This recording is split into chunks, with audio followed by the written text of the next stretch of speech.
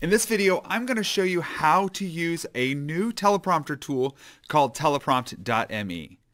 Now, when I say new, I mean it's new to me. You guys probably already knew all about this, but this tool has really impressed me with its simplicity.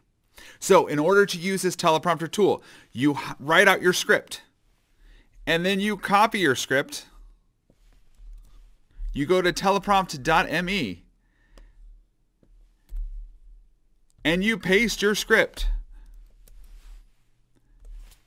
That's it. That is the entire process. So copy your script, paste your script, start talking.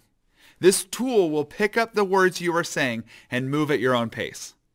You can see it move as I'm speaking. It's an incredible tool. You also have some additional features. You can change the font color and the size of the font up here right at the top. Here's where you change the font size.